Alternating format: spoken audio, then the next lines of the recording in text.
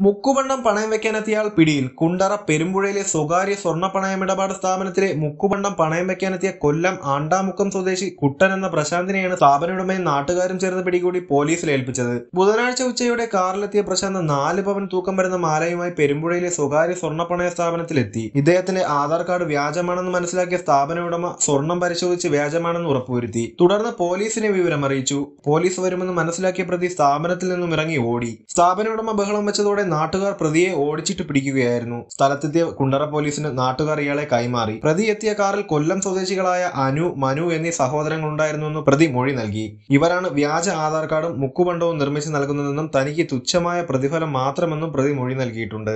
പ്രതിയെ കോടതിയിൽ ഹാജരാക്കി റിമാൻഡ് ചെയ്തു. കൂടുതൽ തെളിവെടുപ്പിനായി പ്രതിയെ കസ്റ്റഡിയിൽ വാങ്ങുമെന്ന് കുണ്ടറ സി ഐ ജയകൃഷ്ണൻ പറഞ്ഞു. ഭാരത് കുണ്ടറ.